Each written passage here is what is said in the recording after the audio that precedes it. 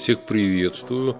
Продолжаем рассматривать работы художников и скульпторов с описанием этих работ по книге «Великие музеи мира. Атический Курос». Около 600 года до нашей эры мрамор высота 193. Куросы, распространенные в архаическом искусстве Греции статуи юношей и атлетов или молодых воинов. Они устанавливались в честь победителей – а также на могилах. Само появление куросов говорит о том, что в греческом обществе развивалось самосознание человека, когда стали считать достойными возвеличивания не только богов, но и людей. Статуя Атический Курос – типичный образец этого вида греческой скульптуры, причем довольно ранний.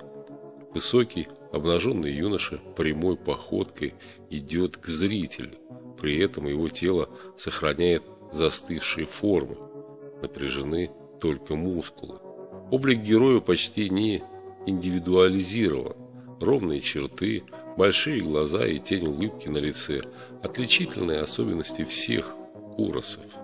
Но его лицо удлинено, очертания рта мягкие, брови чуть приподняты, а тело подчеркнуто стройно.